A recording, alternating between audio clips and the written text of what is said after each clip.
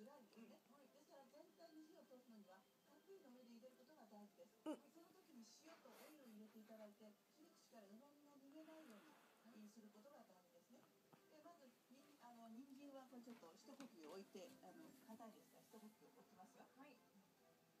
これ他の炒め物の場合も同じです同じなん。です、はいであの今日の食たちはえこれを油通しとしてね油を通したりもするん。ですけれどもえこういったあの家庭でやる場合